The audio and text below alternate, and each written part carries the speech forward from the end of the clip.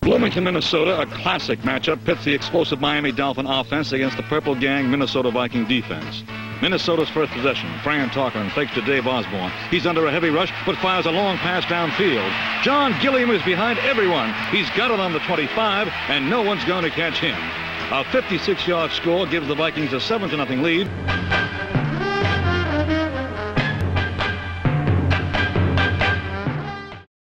Can the Purple Gang stop the Dolphin attack? Still in the first quarter. Bob Griese drops straight back. He fires a short one to Larry Csonka. Csonka is wiped out on a crushing tackle by Roy Winston. Officials rule the play an incomplete pass, but the Viking defense is doing the job. In the first quarter, the Vikings three first downs to Miami's two. The Vikings 80-yard passing to the Dolphins three. The Vikings rushed for 19 yards to the Dolphins 39.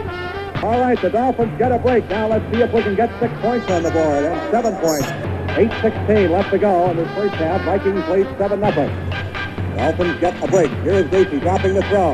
He has time. He fires the end zone. It is intercepted by Bobby Bryant. He's out to the 5, 10, 15, and rolled out of bounds on the far side at the 17-yard line.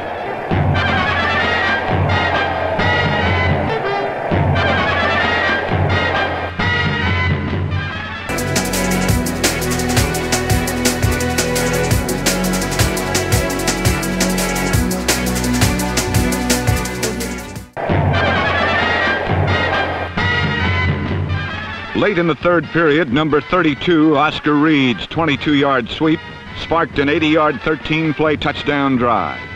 In uh, through the third quarter, the Vikings 10 first downs, Miami 7, 111 yards through the air for Minnesota. Only 32 yards passing for the Dolphins, 131 yards for the Vikings rushing to 97 for Miami. With fourth and a half yard to go, Bill Brown dove across, establishing the Vikings lead at 14 to 6. Mercury Morris grabs the kickoff, the one-yard line, out across the 15 to the 20. Breaks loose, down the near side. If he gets a block, he might go. He does not get the corner turn. He's run out of bounds here on the near side of the field at the 30-yard line, the 31. Morris grabbed that short kick. It was a low trajectory kick uh, back at the one-yard line just as time was in. And he bounced off tacklers in a big pile up in the middle on the far side of the field and then uh, came to the near side and did not get the block that he needed. Griese now trails by eight points in the last period with 14-13 to go, 14 to 6. 12.58 to go. Vikings 14, Miami 6. Third and five. Big play here. Mandich, the tight end, splits to the far side of the field. Briscoe and Warfield. Now the other receivers kicking Csonka the split back. Griese drops the throw. Deep. He fires. It is caught. Fly kick. He took it away from the defender. He's got the first down to the 50-yard line. A great catch by Jim Kiick. Briscoe and Warfield split to the far side. This is the big play for the Dolphins. Third and 10 from the midfield stripe. Griese goes back to throw. He sets up. He fires. It is picked off by Winston. 35, 40, 45, 50 into Dolphins territory across the 45 at the 42-yard line. The Dolphin receiver was down on the ground, and left linebacker Roy Winston, the 11-year veteran from LSU, was had no body to molest him. He picked it off back at the 35 and runs it back to the Dolphins' 43-yard line is where they're going to put it down. Second down and nine. Vikings ball at the Dolphins' 42-yard line. Washington splits to the far side. Gilliam comes to the near side. Osborne and Reed, the split-backs behind Tarkenton. On the snap, Francis sprints out to his right, being pursued, and he is dropped for a big loss back into Viking territory as Nick Buoniconti blitzed that time and came barreling in there and flattened him out back at the Vikings 48-yard line. Third down and long yardage. Vikings ball at their 48-yard line. 10 minutes, 10 seconds left to go. The Vikings lead 14 to 6. Tarkenton on the snap. Drops the throw. He's getting a good rush again. Is caught, and he eats the ball for another loss. Back at the 42-yard line. So that brings up a punting situation, and Eischeid is in. The ball is back at the 42-yard line in Minnesota territory. Eischeid will stand back at the 25-yard line. Here's the snap. He gets the punt away. Low trajectory spiral. Charlie Lee backs up, grabs it to the Dolphins at the 10. Starts the far side. 15 to the 20. He is going to be contained at the 20-yard line. The timer's running out for the Dolphins, trailing 14 to 6, the first down as we are 80 yards away from our 20 yard line. The Dolphins move from our right to our left. This has been a punishing physical football game. Third down and seven.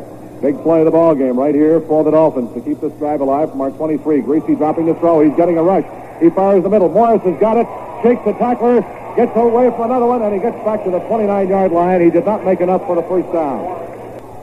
The ball is at the 29-yard line. It'll be a fourth down and one, and they're going to go for it.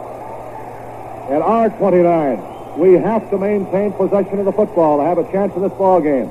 Seven minutes, nine seconds left to play. Fourth and one. If we, we don't make it, you know what happens. They've got the two tight ends in, Fleming and, uh, and Mandich. Morris and Csonka. Here's the handoff. Mercury hits the middle. He squirts through. He's got the first down out to the 32-yard line. He just put his head down and uh, behind Csonka gets the first down to the 32. And the Dolphins with a third down and seven from our 35-yard line. 5.31 left to go. The big play again. Here is Griese dropping the throw. He is firing. It is caught by the tight end Mandich, 45, and he hurdles the tackler up to the 48-yard line for the first down. Mandich cutting across the middle. Got the ball wide open down the near side. And here we go with another third down situation. They were crucial early in the ball game when uh, the Dolphins were not able to convert them, and they have become even more crucial now with 5.17 left to play. The Vikings with a 14 to 6 lead. Dolphins third and 10 from our 49. Absolutely essential that the Dolphins maintain possession of the football right now. Briscoe slot left. Warfield split left. Morris and Kiick of the split box. Briscoe in motion to the right side. Griese drops the throw. Swings the screen out. Morris has got a 45, 50, cuts to his left. Flag down, 40. He's at the 35, down to the 31-yard line in Minnesota territory, but there is a flag at the Minnesota 49, and it's going to be called back. The Dolphins have hurt themselves with uh, penalties this afternoon. It's going to be called pass interference, offensive pass interference on Larry Little. And so instead of a first down at the Vikings 30-yard line, we have a third down and 25 back at our 34. The timer's running out for the Dolphins, trailing 14 to 6, 5.07 left to play. Third down and 25. The Dolphins have to get to the Vikings 41-yard line. Here is the end around with Briscoe carrying. Now he's going to set up to throw the ball. He fires. It is caught by Mandich to lose the tackler at the 45, and he did not make a first down to the 44-yard line. But we still have a, uh, a down remaining. Now here's what happened on the uh, supposed end around with Briscoe carrying from the far side.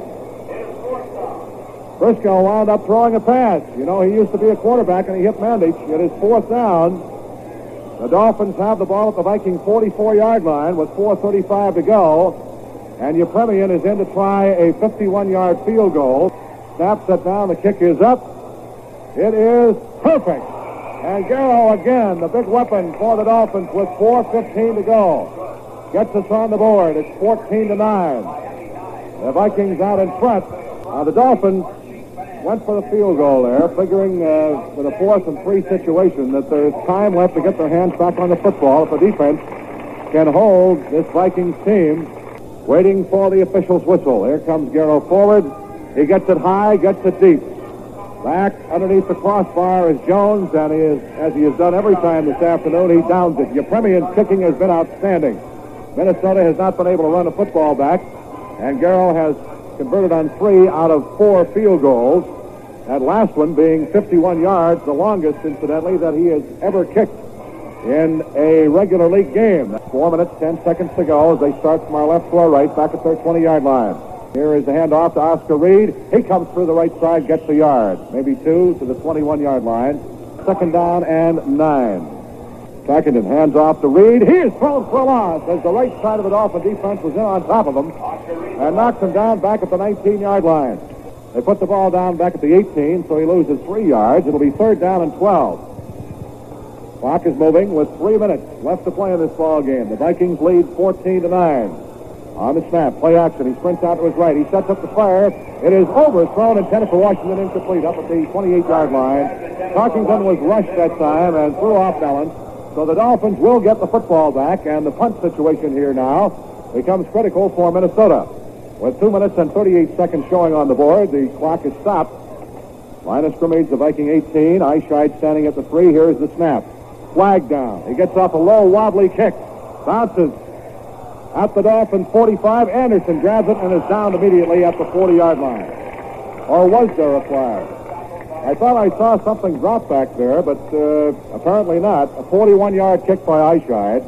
So the Dolphins are some 60 yards away with a first down at our 40-yard line. Two minutes, 27 seconds to go. Let's see if we can do it. Trailing 14 to 9. Mandich is the tight end. Warfield flips to the left side. Briscoe is a slot man left. Kiick and Morris in the eye. Briscoe in motion off to the right side. Here is Griese. The pitch to Mercury Morris. The sweep to the right. Behind Kiick. Gets the corner turn, and that's all. He is trapped. He has really scissored over there at the, at the 43-yard line. Dolphin football action will continue in one minute as we are back with the two-minute warning now. The score, Minnesota 14, the Dolphins 9.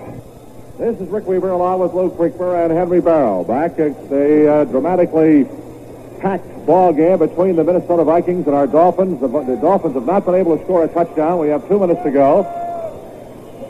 Vikings lead 14 to 9. The Dolphins with a second down and seven situation from our 43-yard line. The fans set up the howl for the defense to take over as they have done all afternoon. Briscoe splits right. To the near side is Warfield. Kiick in behind Griese, and Morris is a slot man to the right. Here's Griese back to throw. He fires. It is dropped. Almost intercepted by Bobby Bryant. And when I say dropped, he started to run with the football before he had it, or he, he might have gone. He had an interception It was intended for Warfield, but there's a flag down, and we're going to get a penalty against the Vikings for roughing the passer. A personal foul for roughing the passer, and that is a first down and gives the Dolphins a first down at the Vikings' 41-yard line. Dolphins need a touchdown. We have not been able to get one this afternoon. Trailing by five points, 14 to 9. A minute 55 to go. First down at the Vikings 41. Briscoe right. Warfield to the near side. Here is the pitch to Mercury Morris. Sweep to the left. He's at the 40, 35, 40. Runs the ball out of bounds. Down at the 28-yard line. Morris carries for another Dolphin first down. Merck had carried seven times before that play in the ball game for just 15 yards. Howard Twilley comes in for the first time this afternoon. The wide receiver replacing Briscoe. The ball at the Vikings 28-yard line. One minute, 50 seconds to go. The Vikings lead 14 to 9. Can the Dolphins do it? against this amazing Minnesota defense. Griese brings him out. He splits Twilley to the far side. Warfield to the near side. Morris and kicker the split back. From the Vikings 28, Griese fades to throw. He's going for Twilley. He's got it. He shakes the tackler and uh, stays in bounds for a couple of extra yards before going out down at the 20-yard line. Getting the ball out of bounds with 144 to go. Clock uh, is stopped on the pass completion. The ball at the Viking 20-yard line. Fans here becoming a little bit apprehensive now. 14 to 9, Vikings lead with the Dolphins on the move. Twilley splits left, Warfield slot left. Morrison kicks, the split backs in behind Griese. Griese rolls back to his left to throw. He's looking. He is looking. He fires. It is caught by Twilley. 10, down of the 5. He's out of the 3-yard line. A great effort by the little guy from Tulsa. Howard Twilley. And that, of course, is good for a first down. Griese had all the time in the world to look for the open man, and he hit Twilley in the middle. He tried to get in, was caught at the about the seven-yard line, and got to the three before he was dropped. This this game has all kinds of possibilities. We, uh, as time will be back in in a moment. The Vikings leading 14 to 9. There's a minute and 32 seconds to play. The Dolphins have a first and goal at the Vikings three-yard line. We have not scored a touchdown. Should we score and go out in front uh, with the conversion at 16 to 14, then the Vikings would have a chance because there would certainly be enough time left. This one uh, is a long way from being over, so stay right where you are. We have the ball, first and goal at the three-yard line. Griese, uh, during the timeout, over discussing the situation with Shula. 14 to 9. Dolphins cannot use a field goal. They need a touchdown. The two tight ends are in, Mandich and Fleming. Morris and Csonka is back in the ball game. Griese sets the ball club. On the snap, drops the throw. He fires the middle. Wide open touchdown is Jim Mandich. The Dolphins have scored. They flared the receivers out on both sides. Morris going to this side, and Warfield to the far side, and Mandich just cut into the middle, caught the football. That is his first touchdown pass of the year, and it could not have come at a bigger time as the Dolphins, Griese, hitting on the touchdown cross to tight end Jim Mandich, completes his third touchdown pass of the season. A three-yarder, a 60-yard drive in five plays. And it's now 15 to 14 as Garo Yepremian will try the point from placement. Morrall will hold. There's a minute and 28 seconds left to play in this ball game. Waiting for the snap. Here it is, set down. The kick is up, and it's perfect. So the Dolphins have only a two-point lead, 16 to 14. Now, with a minute and 28 seconds to go, it is up to the defense to keep the Vikings out of field goal range. So he gets it out to the 19. And had they elected not to run it out, they would have gotten the ball at the 20. So Tarkenton is 81 yards away with a minute and 23 seconds showing on the clock. And listen to this crowd. Here's Tarkenton dropping the throw, gets the rush, swings the screen out. Osborne back behind the line of scrimmage, gets across the 20 into the 22, and that's all. The Vikings going into their two-minute offense, no huddle. 53 seconds, clock moving, 52. They still have all their timeouts left. Miami has just two left. Second down and about seven. Tarkenton is scrambling, throwing a short screen out to the near side. Reed trying to get around Dick Anderson. He can't do it. Anderson drops him at the 30-yard line, but that might be enough for a first down. Right down to the wire, this one. And this a battle between two teams that could very well meet in the Super Bowl. The Vikings, when time is in with 37 seconds to go, will have a first down at their 30-yard line. Tarkenton drops the throw, being rushed.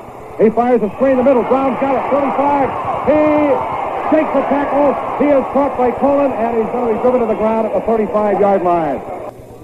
The ball is at the Viking 35. Tarkenton has his ball club back in a huddle. It's second down and five. 28 seconds left to go. This a real thriller.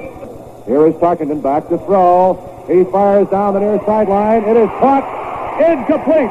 Henderson caught the ball out of bounds. The official said no. He did not have both feet in bounds. And the fans, you hear the reaction in the background because that would have been a big completion. John Henderson, veteran receiver, number 80.